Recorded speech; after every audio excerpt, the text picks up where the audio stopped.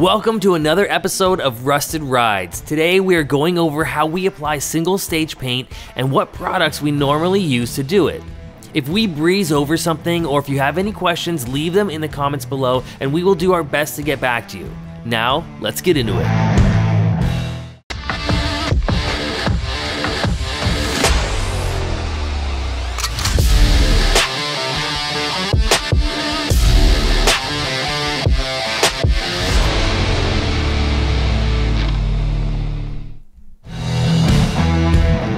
First up, let's get the lights, mirrors, and door handles stripped off the truck for a more professional seamless paint job. The grill is also being replaced, so it has to go too. We need to repair a bunch of rust and rot on this truck, but the one fender isn't worth saving.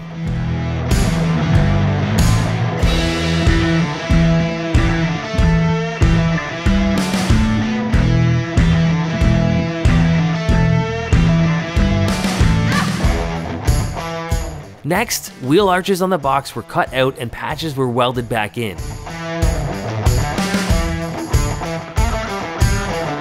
Taking care not to heat up and warp the metal, we jump along the patch and repeat that for a few laps until the weld is complete.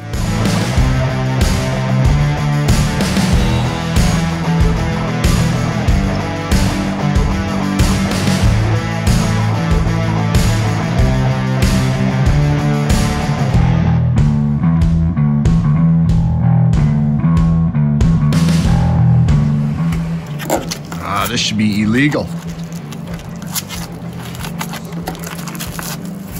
I tell you, I get some tired of people putting spray foam in rocker cab corners.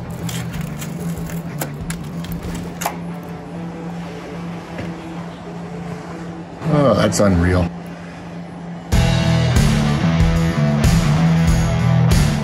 As you just saw, the cab corners were awful, so again, patch panels were welded in place.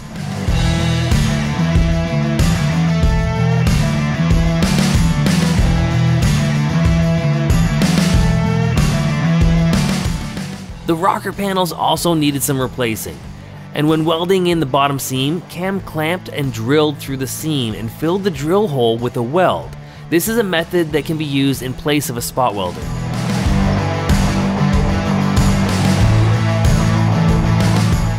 Next was smoothing everything out with a few rounds of body fill and sanding.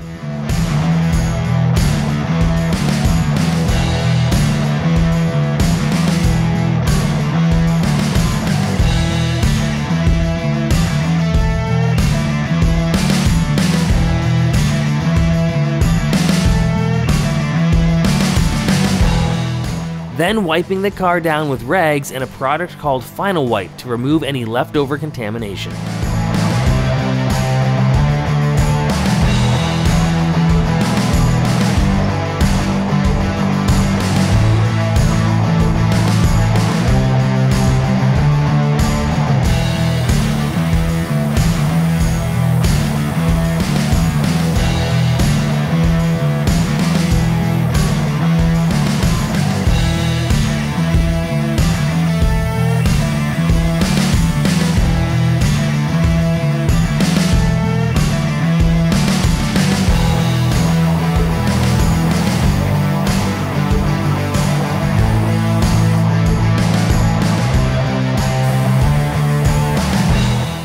Primer was sprayed on exposed metal and areas that got body fill. And now we get to move on to the good part, paint.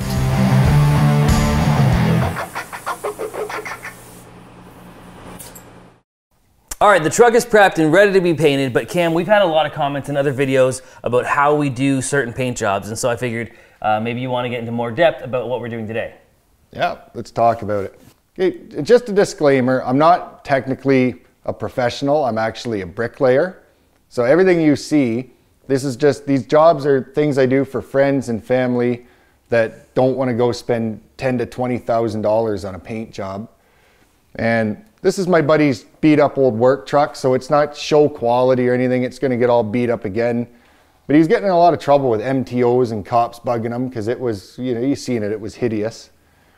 So if you're doing this at home, you know, you start with your, oh, you saw it, the metal repair. We, I ended up having to put new doors on this side because If you look at this one here, there was just, there was just no saving this one. It was bad. Yeah, no, I told bad. him, I said, forget it. I started grinding at it and there's, there's no way.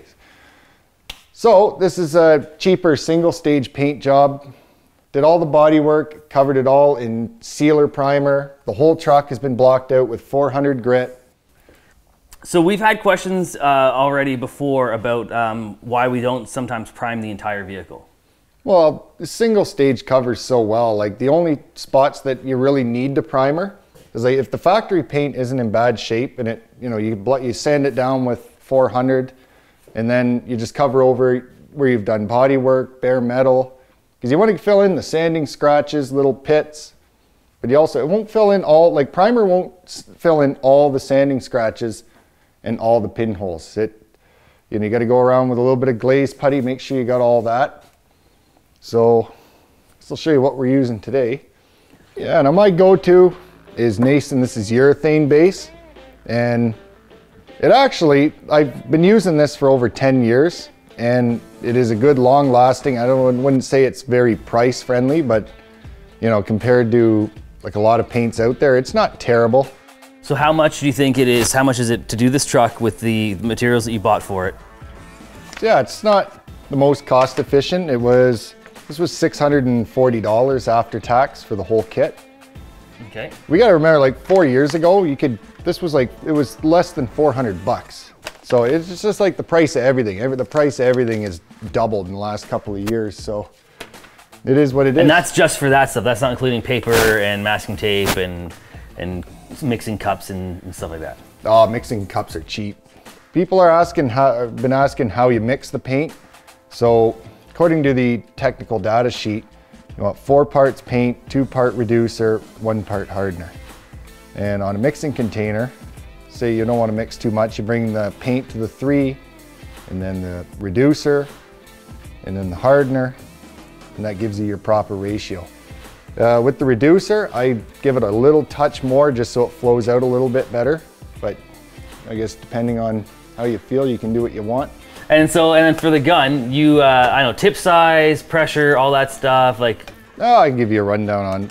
This is the one I've been using. This is not a fancy gun. This this was $160 at Princess Auto, and you want to get a gun with a 1.3 tip. Okay. We'll give you. You don't want to go, you know, spend the extra, however much if you care about the job, and go with a 1.3.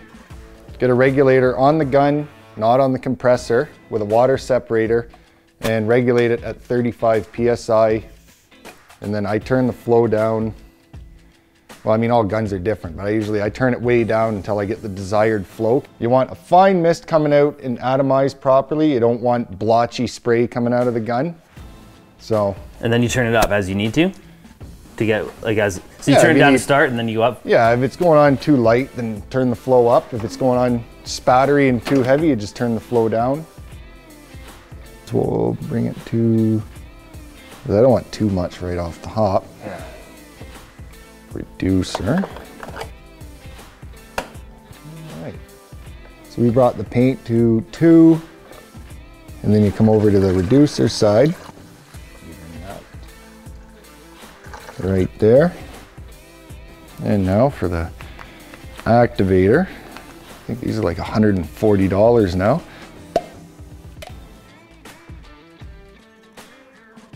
And you bring that to the two. Stir it up and it's ready to spray. Nice. So 35, run the flow down. Just give it a little test spray on here.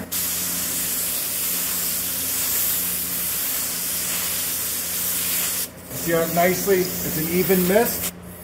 It's not blotchy. Cool.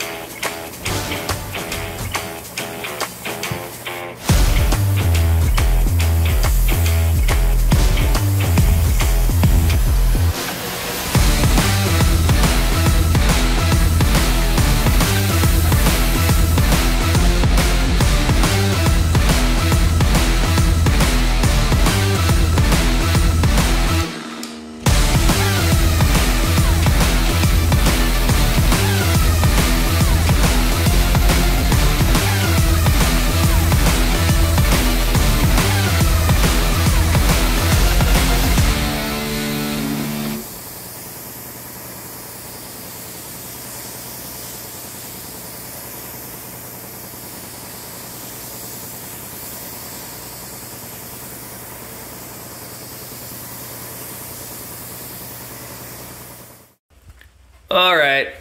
I like it. Yeah, man, looks like it's done with base clear almost. So it's two coats of single stage? I did three. Oh, okay. He's, I know he's going to be beaten on it, so I did three. It Nice. didn't, I, I didn't need the extra third coat, but you know, I bought lots of paint. Yeah. Now, it didn't fix every single little dent because it's going to get all beat up again. We were just mostly concerned about getting the rust cut out of it, mm-hmm. making it all clean in one color. So when he's driving by with his trailer on, he's not going to get busted by MTOs, not busted by cops just wanting to bug him because his truck looks awful. Um, it definitely doesn't look awful now. Like this is gonna look nice. Like a Dairy Queen dip cone, but a truck. Okay, well that uh, that wraps it up for today. And unfortunately, he's got new. He's got a sport grill coming for it. All new door handles, mirrors. This video was more just a how to get a really nice paint job out of single stage. So I think it looks maybe really good. maybe before if this these things show up before he's done editing, then you will see the finished product. But uh, yeah, there it is. All right. I am go edit this sucker. Uh, we'll see you next week with another video. Thanks a lot for watching. Yeah, thank you. Those parts did not show up in time, but we did put the old stuff on just so you could see the truck fully assembled. Thanks again for watching, and we'll see you next Friday.